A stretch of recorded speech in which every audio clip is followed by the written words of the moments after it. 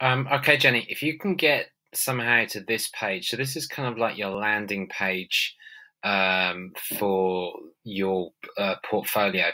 Uh, if you click down this arrow um, here, it then gives you a drop down menu. Now, this will be where all of your websites are. So you should be able to see probably the one that you did in Island Time in year eight, um, but you should also be able to see uh, this one here, okay, through the eye of the lens.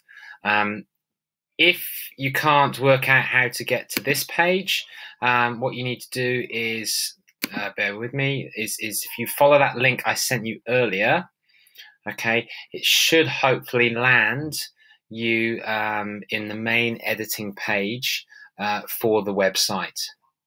Okay, um, so it should actually uh, uh, come back to here. Um, if you just press this, uh, the, the close button at the top, it will take you back to that home site. Okay, uh, and that then allows you to choose which website you have you can edit. Okay, so just have a play and see whether that makes any difference at all.